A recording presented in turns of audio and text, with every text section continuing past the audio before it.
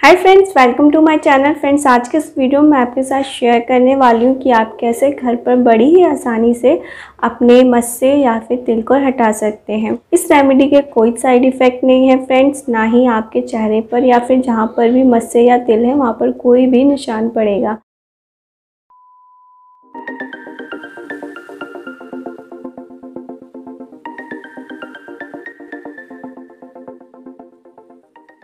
Friends आपने पहले भी मेरे तिल और मस्से को हटाने वाली वीडियो देखी होगी। बहुत ही ज़्यादा इफ़ेक्टिव रेमेडी है वो। बहुत सारे लोगों ने ट्राई भी किया है। तो आप चाहें तो वो वाली रेमेडी भी यूज़ कर सकते हैं। उसका लिंक मैं डिस्क्रिप्शन बॉक्स में दे दूँगी। बहुत ही यूज़फुल रेमेडी है ट्राइड एंड टेस्टेड है। तो वीडियो को एंड तक देखिएगा, ताकि आप समझ पाएँ कि कैसे बनानी है रेमेडी कैसे यूज़ करना है, कितनी बार यूज़ करना है।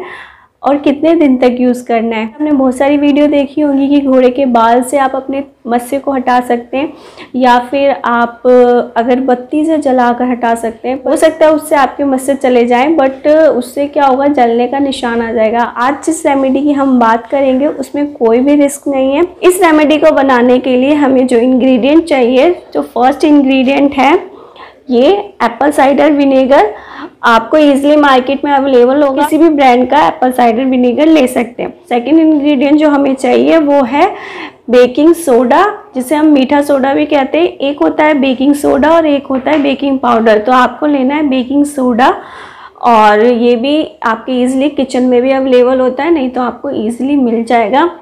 सो फ्रेंड्स चलिए देख लेते हैं इस रेमेडी को कैसे बनाना है। एक बाउल ले लेना है, एक स्पून ले लेनी है।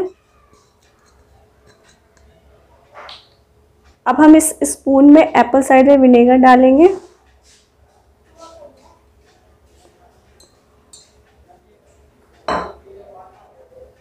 एक स्पून में हमने बेकिंग सोडा निकाल लिया है। आप देख सकते हैं बेकिंग सोडा हमने इसमें निकाल लिया है। और इसमें हम अब ये एप्पल साइडर विनेगर डालेंगे। आप देखेंगे इसमें बुलबुले निकल रहे हैं। इसको मिक्स कर लेंगे।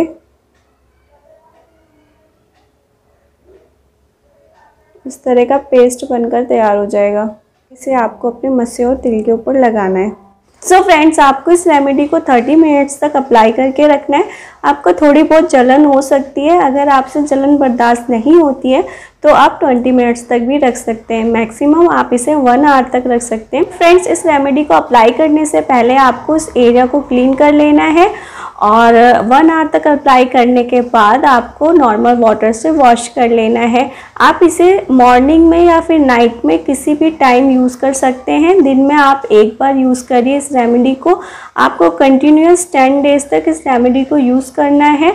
और 10 दिन में ये जो आपके मस्से हैं या फिर जो उभरे हुए तिल होते हैं, सूख कर झड़ जाएँगे। एक इंपॉर्टेंट बात दोस्तों, आपको ऐसे तिल पर अप्लाई करना है जो थोड़े से उभरे हुए होते हैं, जो बिल्कुल फ्लैट होते हैं स्किन के अंदर होते हैं, आपको ऐसे तिल पर अप्लाई नहीं करना है, क्योंकि जो आपकी स्किन है वो डैमेज होने के चांस होते हैं। सो तो आपको ऐसे ही तिल पर अप्लाई करना है जो थोड़े बिग होते हैं साइज़ में और थोड़े से उभरे हुए होते हैं। और दोस्तों आपको याद रखना है कि आपको बस उसी एरिया पे अप्लाई करना है जहाँ पर आपके मस्से या तिल हैं।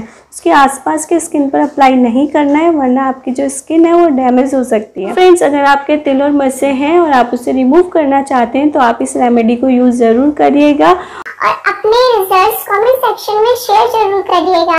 और इससे पहले जो मैंने रेमेडी बताई थी वो बहुत सारे लोगों ने यूज़ की वो रेमेडी और बहुत ज़्यादा इफ़ेक्टिव रही।